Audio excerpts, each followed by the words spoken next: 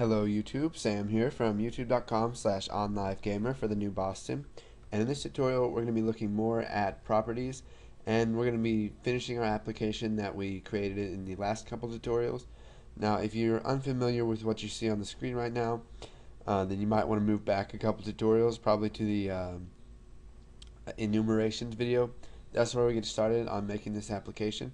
So um, if not, then let's go ahead and get started.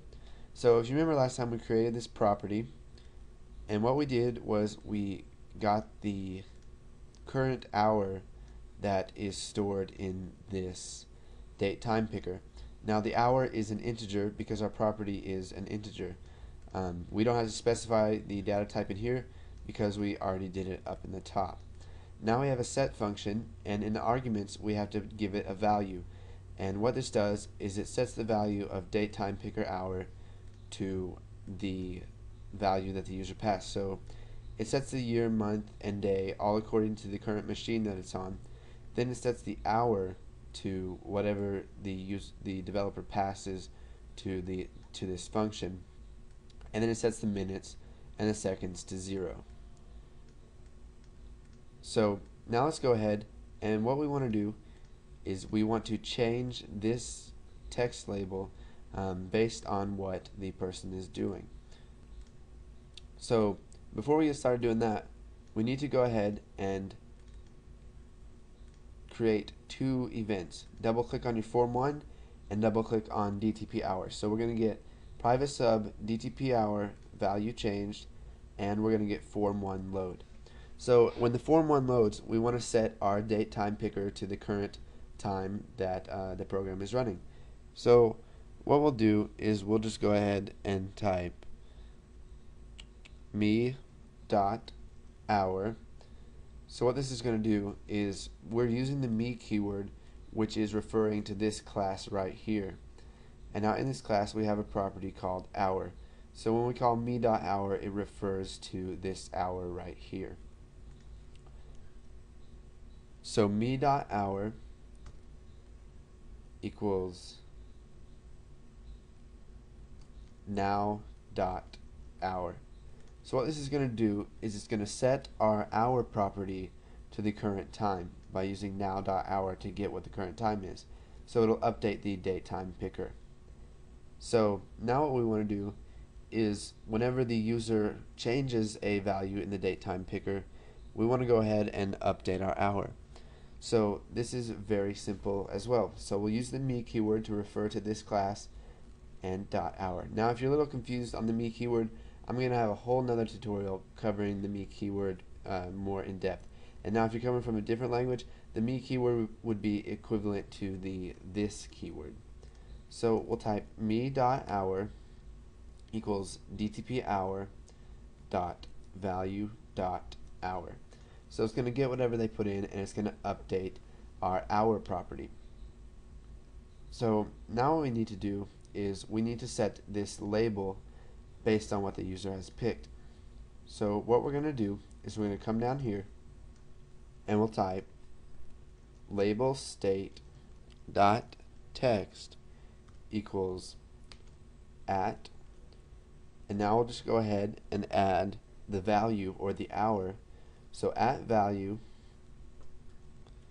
and then we're just going to add 0 0 because the value is a single integer um, ranging from 1 to 12.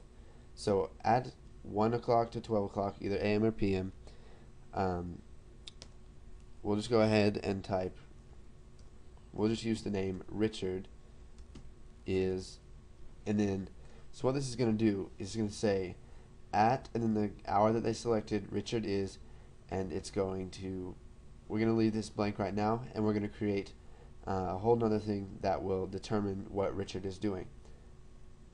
So you can have as many things as you want inside of a set uh, a set block inside of your property hour.